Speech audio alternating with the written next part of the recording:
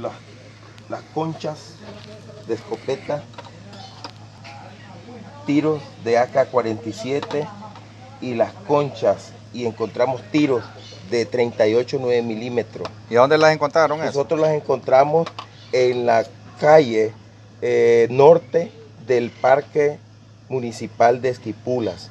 Fueron encontradas después del ataque atroz ¿Cuál, cuál que nos ataque? ¿Cuándo hicieron el día domingo a las once y media de la noche del 19 de abril. ¿Y quién hizo ese ataque jóvenes. atroz que usted menciona?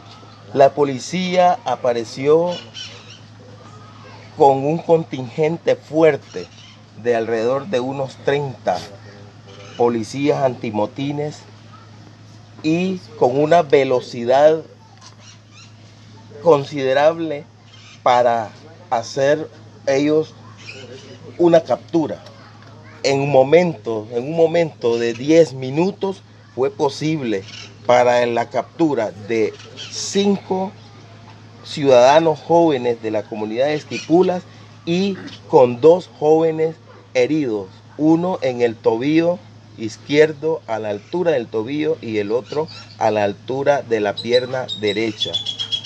Este fue el regalo que nos mandó el asesino y criminal presidente inconstitucional, asesinado, asesino y criminal, porque eso es lo que se merece, darnos a nosotros los, los esquipuleños este regalo.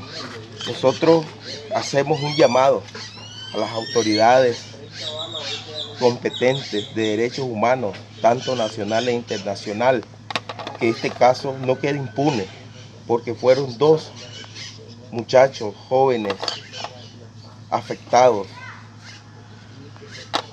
Estamos presentando las evidencias de lo que nos ha pasado. Un pueblo de campesinos, de productores que les damos de comer con lo que nosotros producimos y de esta manera nos pagan.